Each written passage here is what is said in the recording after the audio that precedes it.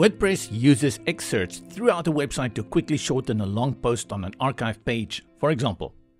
They can be a powerful tool where visitors can preview a post before deciding to put in the effort to sift through its contents. In this video, you will learn all about excerpts and how they work when combined with the Blocksy theme. The first place to start is with an example post. By default, blog archive pages will display a shortened version of the post, as you can see here. This excerpt is usually generated automatically from the first few words from the article. Diving deeper into the article, we can see that it is indeed more content to explore. But at the same time, the excerpt can also be displayed on single post pages. This can come in handy in a few situations, which we'll discuss in a bit. Let's jump to the customizer to see how the excerpt can be configured further.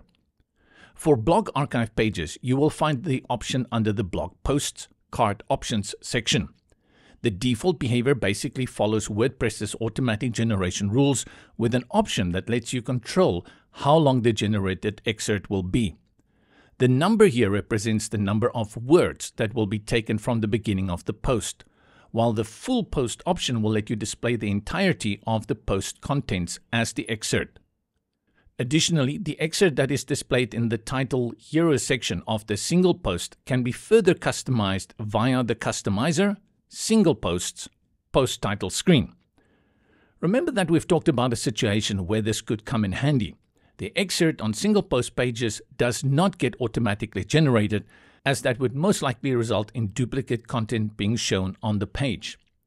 WordPress has a little nifty feature that lets you overwrite the entire system and set your very own excerpt completely controlled by you. To get there, simply open the Post Edit screen.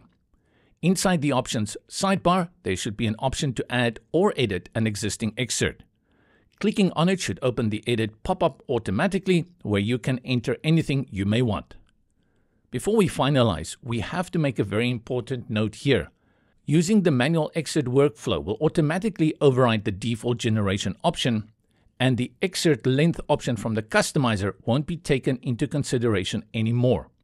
This is because it is assumed that you want the absolute full control over the excerpt, and that's how the core WordPress software behaves, irrespective of the chosen theme.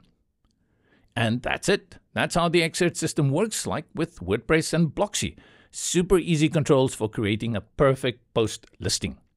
Excerpts, a powerful element to quickly preview posts. And if you wish to learn more about what Blocksy 2 has to offer, continue on onto our website and click on one of our other videos to keep watching.